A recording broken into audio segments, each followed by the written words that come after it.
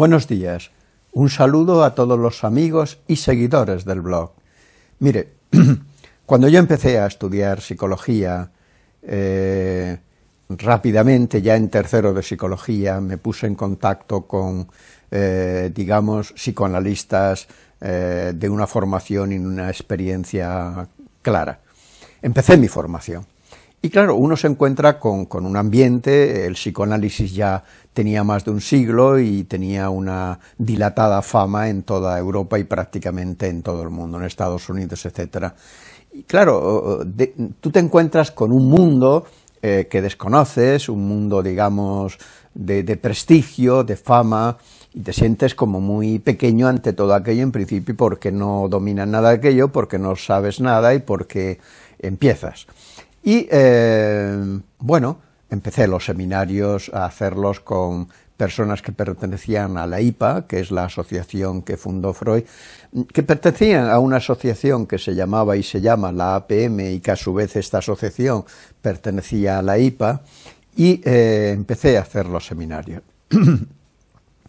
estudiábamos en aquel primer seminario, estudiábamos, leíamos y estudiábamos y comentábamos los textos de Freud y eh, al poco tiempo, no sé cuánto, pero no muy tarde, yo empecé a sentir interiormente un cierto desacuerdo con, con Freud. Era como que, bueno, decirles que ya en aquel tiempo, incluso antes, yo ya estaba en, en terapia, en psicoanálisis personal, con un psicoanalista, antes incluso, yo diría bastante antes de esto. Eh, y entonces yo ya iba eh, analizando y teniendo una experiencia personal de mi propio proceso y de mi propio análisis. Yo ya estaba en proceso personal de análisis, o sea, yo producía, por así decirlo, mi propio psicoanálisis, ¿no? Y empecé a sentir un cierto desacuerdo con Freud.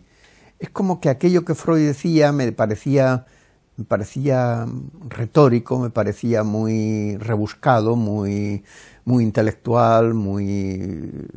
y que los sentimientos y las experiencias que yo sentía dentro de mí no, no me cuadraban o no, no, no, no comulgaban, por lo menos en el sentido afectivo, con, con aquello que yo estaba estudiando. Para que ustedes lo entiendan, ¿cuál es, ¿qué es lo que dice Freud? Miren, Freud parte de los impulsos que nacen en el cuerpo. Ojo con eso del cuerpo, porque es muy importante. Esos impulsos se convierten en pulsiones, en pulsiones si son mentalizados, si llegan a la mente y entra el cuerpo en relación con la mente. Entonces ya se convierten en pulsiones. Freud habla de dos procesos, un proceso primario que está regido por el principio de placer y un proceso secundario que está regido por el principio de realidad. Lo que quiere decir Freud es que hay, eh, hay una tendencia, él dice que hay una tendencia al placer y que luego está la realidad y que ese placer tiene que subordinarse a esa realidad, a esa realidad externa, social, etcétera, y también a la realidad interior que es más compleja que los propios impulsos. Por tanto, el proceso primario tiene que subordinarse al proceso secundario y uno tiene que obtener el placer a través de la realidad a través de la realidad. Por tanto, hay que hacer una castración, por así decirlo, no una anulación, una castración de ese eh, proceso primario para subordinarlo al proceso secundario. Eh, Freud construye una teoría, la teoría libidinal, que quiere decir, se entiende por líbido la energía, se entiende por líbido, repito, la energía de la pulsión sexual. Esa energía eh, que se produce en el cuerpo a partir de los impulsos que buscan el placer y que reside, Freud inventa un nombre que es el nombre de ello, eh, donde en su segunda teoría del aparato psíquico, que divide en ello, yo y superyo, divide el aparato psíquico en esas tres, eh, esas tres partes, y Freud dice que en el ello residen las pulsiones, como si hubiera allí un hervidero de pulsiones que tienden a salir, que tienden a buscar el placer, que tienden a buscar la descarga. Y entonces la buscan a través de la fantasía, a través de las fantasías, de la relación con, con el mundo, etcétera, etcétera, ¿no? La descarga. Entonces, eh, esa, esa, energía es la que, eh, digamos, se distribuye a través de todo el aparato psíquico. El yo coge de esa energía y la utiliza pues para trabajar, para estudiar, para llevar su vida, esa es la energía que está en el ello y que procede de las pulsiones, digamos que el yo toma de esa energía, y el super yo, que es la parte digamos más ética, la parte más moral, pues también toma de esa energía para su, digamos, para su, su establecimiento, para su, su realidad, para la realidad que tiene tanto el yo como el super yo. Entonces digamos que es esa energía pulsional que ha sido desexualizada y también desagresivizada, la que el yo y el super yo utilizan para vivir, para vivir, para trabajar, para amar, para, para, las relaciones sociales, para las relaciones de todo tipo. Esa es la energía que Freud dice que utilizamos en nuestra vida. Eh, Freud también habla de que, eh, de que eh, eh, el ser humano tiende al placer, ya lo dice en relación incluso a los bebés, él dice que un bebé eh, cuando mama está satisfaciendo su pulsión, mm, su pulsión de conservación, y pero al mismo tiempo experimenta un placer. Pero llega un momento en que el bebé disocia esas dos pulsiones y, por ejemplo, se chupa el dedo. Cuando el bebé, se chupa el dedo, ya no está satisfaciendo su pulsión de conservación, que es comer, sino está simplemente dándole satisfacción al, al placer, al placer. Y entonces, pues, entonces, pero Freud dice que como la realidad no puede satisfacer las pulsiones que tienden al placer, pues eh, eh, la reprime, la reprime y se produce entonces lo que llama el inconsciente. En nuestro inconsciente está todo aquello que ha sido reprimido porque no ha podido conectarse, eh, ligarse a la realidad, a la realidad tanto interior como exterior. Y llega al inconsciente, entonces se produce el inconsciente. Y el inconsciente, el inconsciente tiende al retorno, tiende a retornar, entonces retorna de mucha forma, como Freud dice, a partir de, por ejemplo, de, los lapsus, a partir de, por ejemplo, de, mm, digamos, de derivados, de derivados, eh, a partir, por ejemplo, de, a ver si lo digo, de, eh, digamos, de, por ejemplo, una descarga, descargamos muchas veces el inconsciente contando chistes, por ejemplo, chistes así un tanto verdes, un tanto agresivos, a través de los cuales sacamos ese inconsciente que llevamos reprimido. Y hay muchas maneras eh, de eh, descargar en parte ese inconsciente porque también hay unas, hay censura y hay unas, hay unas defensas, pero se produce siempre una cierta descarga de una parte al menos de ese inconsciente. Y todo esto, todo esto, a partir de todo esto, Freud va eh, formando eh, eh, todo el entramado de su teoría, también con sus teorías sobre las diferentes enfermedades, sobre todo la neurosis, la neurosis, los tres tipos de neurosis, que son la neurosis, la histeria, la neurosis de angustia o fobias y la neurosis obsesiva. Freud trabaja mucho, sobre todo con la neurosis, y también establece una teoría de la psicosis en, en el 1900, eh, no recuerdo si 14 o 15, en su tratado sobre el narcisismo, donde habla de que eh, la energía puede ligarse al objeto, puede quedarse en el yo. Si se queda demasiado en el yo uno, uno se, se desentiende del mundo, y queda un poco uno como ensimismado en, en, sí mismo y produce una especie de alejamiento de la realidad de funcionamiento megalomaníaco y, omnipotente y entonces entramos en el mundo del psicótico. Y si no, si uno puede avanzar más y lo que se produce es así como digamos una cierta insatisfacción de esa energía que tiende a descargarse, pero no de la forma alejándose tanto de la realidad, entonces se producen los que llamamos las neurosis, las neurosis, las tres neurosis que acabo de hablar. Bien, yo escuchaba todo esto en los seminarios. Eh, leíamos muchos textos de Freud, pues prácticamente los leímos, eh, todos los más importantes los leímos y otros muchos. ¿eh? Y yo escuchaba todo aquello y hacíamos debate y reflexiones, pero claro, yo no tenía, eh, no tenía la base suficiente como para hacer una crítica de aquello ni para poder, eh, digamos, contrarrestar con una, con una, con una elaboración propia todo aquello. Primero sentía un cierto desacuerdo, un cierto malestar, pero eso es todo. Pero aquello fue aumentando, fue aumentando y llegó un momento, recuerdo perfectamente que hubo un año en que tomé la decisión de hacer una reflexión muy seria sobre todo aquello. Estuve un año entero, dediqué un año entero todo el tiempo que tenía libre, porque yo ya veía paciente, evidentemente yo puse consulta enseguida, digamos que el mismo año que acabé psicología puse consulta junto con dos compañeros. Y eh, tuve mucho éxito, la verdad es que tuve éxito porque yo eh, tenía relación con una serie de médicos que me enviaban pacientes y me enviaron bastante pacientes y empecé a tener mucho trabajo muy pronto, muy pronto, muy pronto. Y eso me ha ocurrido a lo largo de toda mi vida. Y entonces, claro, empecé a tener, eh, digamos, una base suficiente, la base personal por eh, mi propio análisis que seguía haciendo y seguía haciendo durante muchos años, como le has dicho muchas veces, con seis psicoanalistas diferentes, he hecho seis procesos diferentes, tres psicoanalistas hombres, tres psicoanalistas mujeres.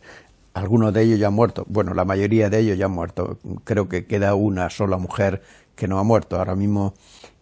Entonces, eh, ya yo fui cada vez teniendo una base suficiente como para, para, poder enfrentarme a la teoría de Freud con una postura más crítica por mi experiencia como paciente, por mi experiencia como, como terapeuta y por la reflexión eh, que, y por el avance que uno hace con, su formación y también con la edad a través de, de la vida y, y todos estos elementos, ¿no?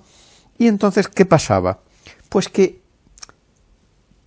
todo eso después de ese año que hice de reflexión, como les he dicho, eh, hice un, escribí un, trabajo que tenía 120 páginas donde yo resumí toda esa reflexión.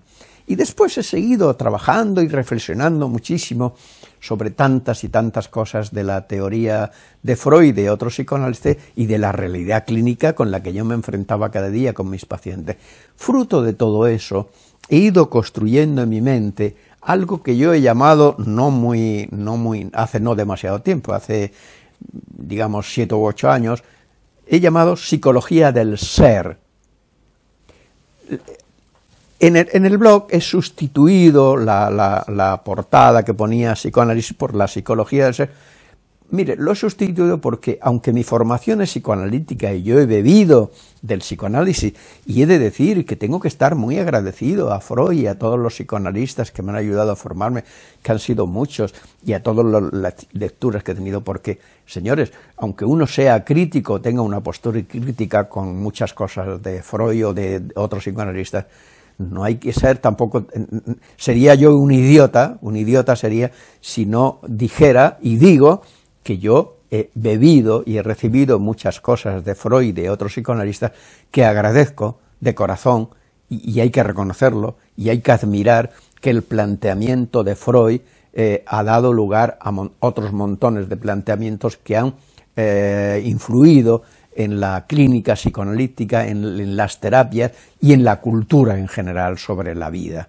Por tanto, gracias a Freud y gracias a otro montón de psicoanalistas, entre ellos a aquellos que fueron mis maestros y mis terapeutas durante, durante algunos los recuerdo con un gran cariño y hasta me sonrío pensando en alguno de ellos que porque claro, dentro de los psicoanalistas que yo he tenido habría uno, había unos que eran más serios, otros que eran más chistosos, otros que eran mucho más agradables, y estaba recordando a uno que era, a uno que era muy cachondo y que, y que bueno, y que nos reíamos mucho en las sesiones porque él eh, hacía así un poco también eh, sus chistes y sus gracias de todo el material que iba apareciendo en mis sesiones con respecto a montones de cosas, ¿no? Esa experiencia que uno va adquiriendo a través de tantas sesiones, porque fíjese que yo hacía, hacía, para que ustedes lo sepan, yo hacía al principio cuatro sesiones semanales, semanales, durante eso lo hice durante años, y luego otra serie de años, de años, hacía tres sesiones semanales, y luego ya en los últimos años, los últimos años que han sido hasta no hace demasiado, hacía dos sesiones a la semana. Por tanto, fíjese la cantidad de experiencia clínica personal que uno tiene a través de su psicoanálisis personal, en este caso, como en mi caso, que ha durado tantos años. Y luego está mis pacientes, que han sido muchísimos, cientos de pacientes de todo tipo de patologías y de problemáticas personales sobre las que he tenido que reflexionar. Bueno, fruto de todo eso y de lecturas y de, seminarios y de congresos y de simposios y de jornadas de, tantas cosas, eh, soy yo lo que soy. Y entonces he ido construyendo una, una, teoría, una, que llamo psicología del ser. Eh, ¿Por qué llamo psicología del ser? Mire, la palabra ser es una palabra metapsicológica, que va más allá de, eh, digamos, que encierra la palabra en sí, el contenido de esa palabra, encierra todo aquello que hay en el ser humano como potencialidad, como alma, como realidad innata, como realidad metafísica que está ahí presente desde el nacimiento y que si tiene suerte ese ser humano puede desarrollar todo eso en relación con los objetos, con los objetos del mundo. Lo primero es la madre, el padre, la familia, puede ligar todo eso a esos objetos y irlos, eh, digamos, desarrollando todo eso que yo llamo el ser. El ser, el ser es inconsciente. Según esta teoría de psicología del ser, el ser es el inconsciente verdadero y auténtico. No es un inconsciente reprimido, sino es el inconsciente constitutivo del ser humano.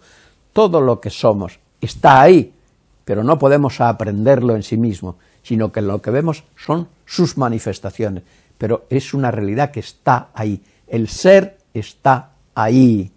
Y yo, amigos, he visto, he oído, he escuchado, he saboreado, he vivido ese ser en cada una de mis sesiones y en cada una de las sesiones como el paciente.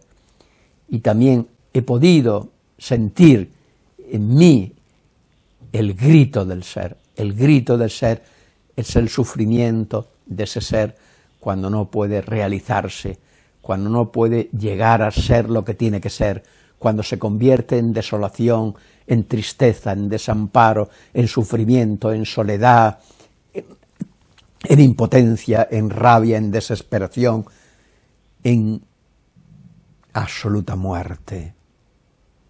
El grito del ser, amigos, yo lo he escuchado hasta la saciedad hasta la sociedad. El grito del ser. Entonces,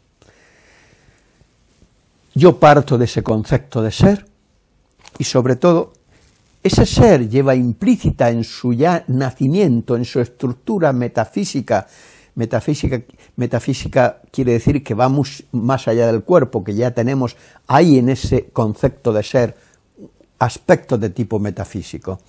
Bueno, pues ese, ese ser sobre todo, se realiza, quiere realizarse, tiene vocación de realizarse con el objeto, en su relación con los objetos. Y entonces el primer objeto de realización del ser en nuestra cultura es la madre o la que hace las veces de madre. Y ahí ya pueden producirse trastornos gravísimos cuando esa relación, porque un bebé, aunque ustedes lo vean tan pequeñito y tan eso, ya viene al mundo con una inscripción, con un alma, con un espíritu que quiere dar su amor. Sí, así literalmente dar su amor y recibir el amor. No solamente recibir, sino dar. Y el bebé se siente feliz, contento, satisfecho cuando encuentra una mamá que tiene esa capacidad, esa capacidad de madre, ese maternaje para ofrecer y recibir toda la pasión que ella lleva dentro, que es mucha, y la pasión que ese bebé trae al mundo, ese deseo de ofrecerse, ese deseo de entregarse a la madre también. Y entonces se produce una simbiosis maravillosa, una relación maravillosa que llena el alma del bebé y el alma de la madre. Y es esta cosa que a veces hacen las madres que le dicen al bebé verdaderas tonterías. ¡Ay, mi niño! ¡Ay, cuánto te quiero! ¡Ay, no sé qué! Pero es donde está toda la pasión, todo el deseo, todo el interés, todo el amor que esas mujeres llevan dentro. y luego está el padre y la familia. Y entonces el bebé no, no es un impulso, aquí difiero de Freud, no es una pulsión, es relación, es espíritu, es metafísica, es el ser busca el sentido desde el primer momento. Y el sentido es que se dé esa relación, que pueda ligarse todo su ser, todo lo que él es con esa otra objeto que es la madre, la familia, el padre, los hermanos y luego el mundo entero que es como dijéramos el gran otro, la gran madre, el gran padre, la gran familia. Y entonces, eh, eh, digamos, se crea el bebé dentro de esta relación, crece con salud, con alegría, con felicidad. Pero ¿qué pasa si eso no se da? Pues que entonces el bebé sustituye, hay una especie de gran sustitución en su alma de todo aquello que se tenía que haber logrado con una ligazón, con una relación adecuada, lo sustituye por otra cosa y llena su alma, su alma grande, aunque sea pequeño, de rabia, de desesperación, de soledad, de tristeza, de desamor, de heridas profundas. Y entonces, ¿qué pasa? Que el primer tejido psíquico que se forma en nuestra mente, la primera estructura psíquica que se forma en nuestra mente, puede ser puede, puede, puede ser una estructura muy enferma que sustituye a esa estructura sana que tenía que haber formado si se hubiera dado esa relación de la que le he hablado. Entonces se forma un yo primordial, porque yo he creado un concepto, que es el concepto de yo primordial. No es el concepto de yo realidad ni el concepto de super yo, sino de yo primordial. El yo primordial es la primera estructura psíquica que se crea dentro de nosotros y ya puede ser o muy sana o muy enferma. Si el yo primordial eh, es muy enfermo, el yo realidad se verá asediado, se verá asediado de rabia, de desesperación, de soledad, de tristeza, de, de, de culpa, de destrucción. ¿Por qué? Porque se ha frustrado el ser. El ser, lo que había en ese ser, esos, toda esa metapsicología que había en ese ser en relación con el mundo se ha frustrado y en su lugar se ha creado un yo primordial, enfermo, lleno de elementos destructivos. Y entonces ese yo primordial asediado por todo eso no va a permitir que el yo realidad se cree, se integre, se construya dentro de nosotros. Y ese yo realidad va a estar siempre como asediado, como los enemigos que asedian una fortaleza y le quitan el agua, le quitan la luz, le quitan todo hasta que se rinde o hasta que mueren todos. Y entonces tenemos cuando el yo realidad tiene que ponerse a través de los sentidos en contacto con el mundo y el yo primordial enfermo lo asedia, el yo realidad no puede ponerse en contacto de una forma adecuada con el mundo. Y entonces no tiene buenas relaciones, no tiene buenos pensamientos, no se relaciona adecuadamente, no puede tener buenos proyectos, no puede tener buenas amistades, buenas relaciones amorosas, buena sexualidad. Entonces, ¿qué tiene? miedos, miedos, muchos miedos, mucha inadecuación entre la forma en que debería relacionarse con el mundo y la forma en que se relaciona. Y esto en todos los aspectos, sean laborales, comerciales, eh, de todo tipo, relaciones de todo tipo. Y entonces tenemos patologías que pueden ser como digo, si se dan muy al principio de la vida, son patologías muy graves, patologías psicóticas, si se dan un poco después, son patologías límite, ¿eh? borderline, patologías límite, que no son ni psicosis, y luego están las patologías más evolucionadas, cuando ya el yo se ha constituido suficientemente y tiene problemas, pero como tiene más capacidad de defensa y más capacidad de enfrentarse con el mundo, las patologías son más suaves. Entonces tenemos las patologías neuróticas. neuróticas.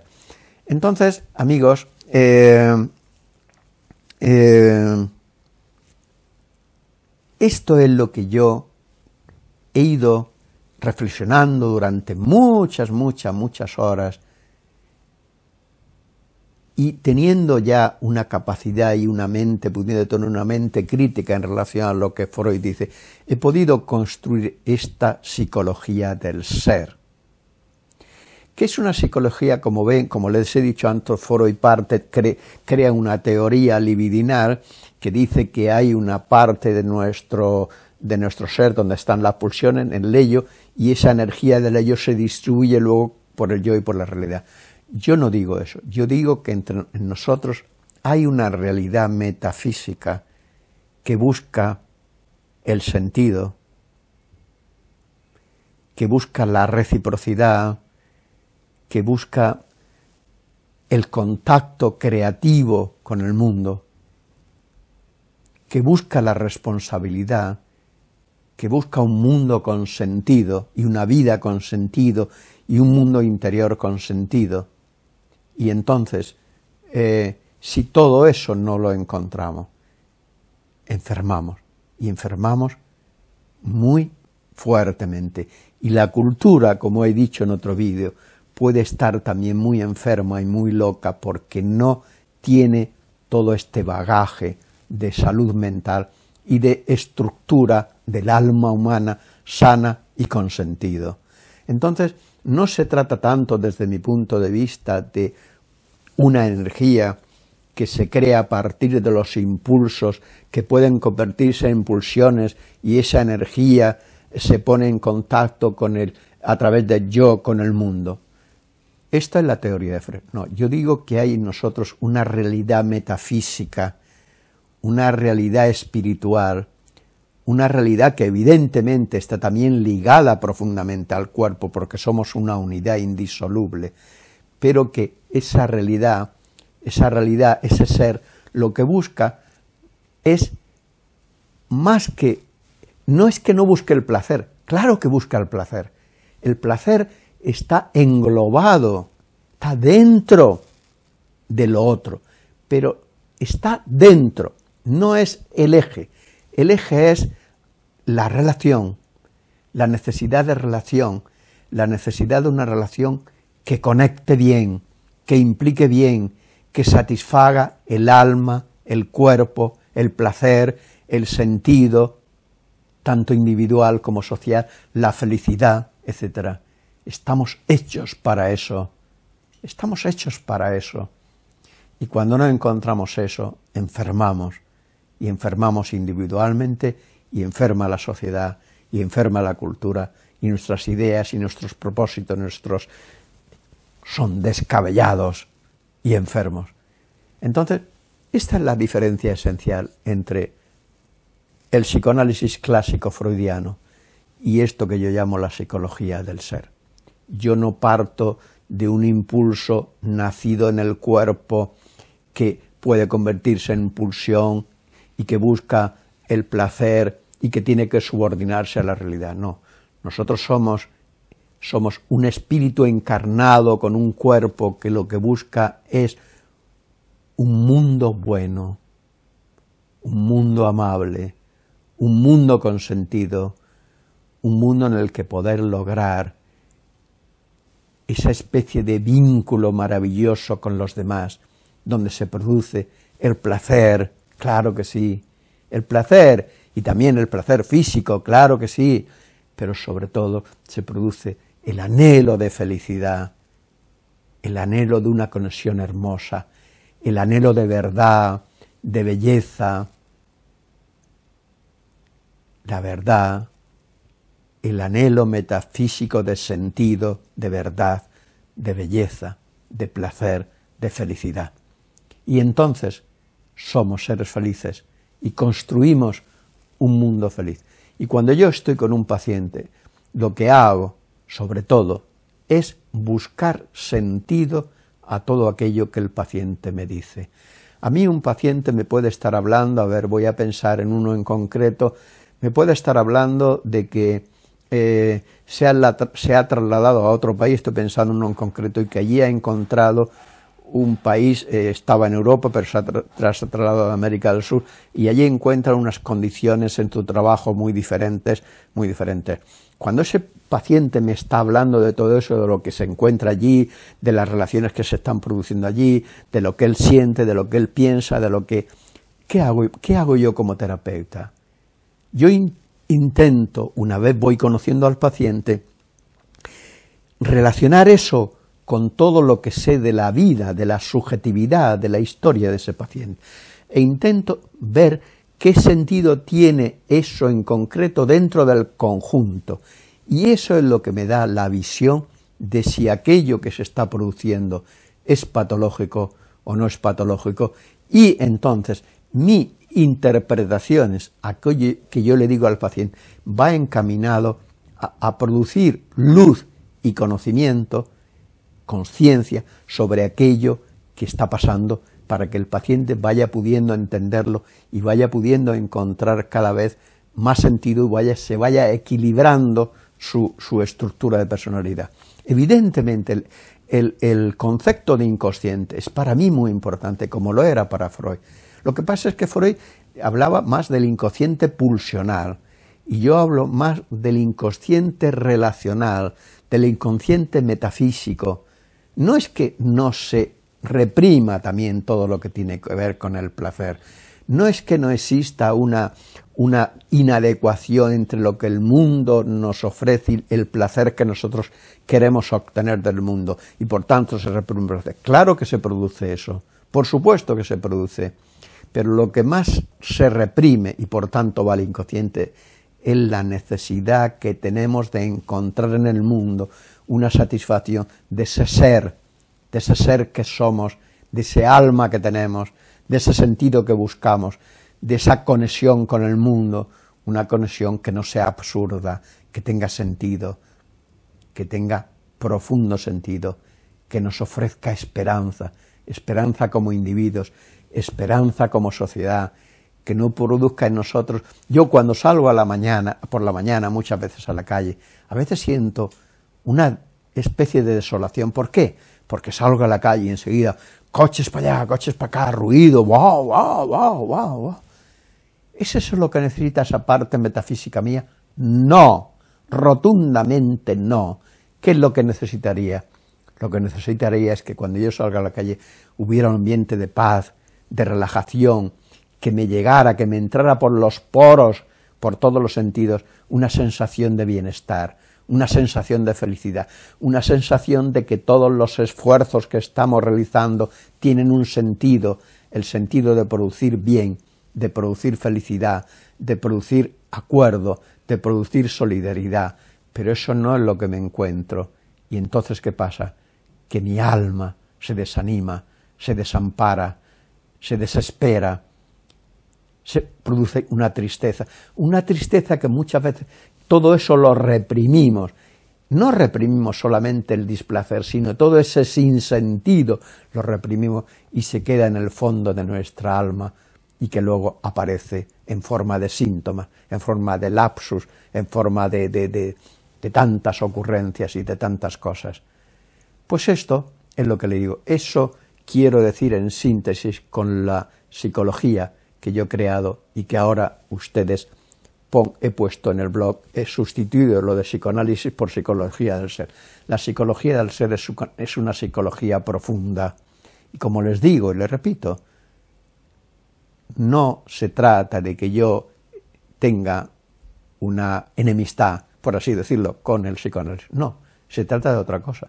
Se trata de que yo he ido creciendo en todos los aspectos y he ido teniendo una mente más crítica y unos mayores conocimientos y una mayor experiencia. Entonces he podido hacer una reflexión a partir de la cual yo he llegado a estas conclusiones. Y por tanto, lo que yo les ofrezco es completamente lícito, completamente normal y propio de un ser humano que ha ido evolucionando. Es aquí a donde yo he llegado y lo que yo a donde yo he llegado es lo que les ofrezco. Y por tanto eso es honrado es honrado en todos los sentidos y nadie puede decir que aquello que yo estoy diciendo no sea una cosa razonable, seria y con sentido. Y ahí estamos. Bueno, pues nada, gracias y espero que todo esto le sirva como es el lema de este blog, cambiarte para cambiar el mundo. Cámbiate y entonces podrás cambiar el mundo. Gracias. Hasta otro día.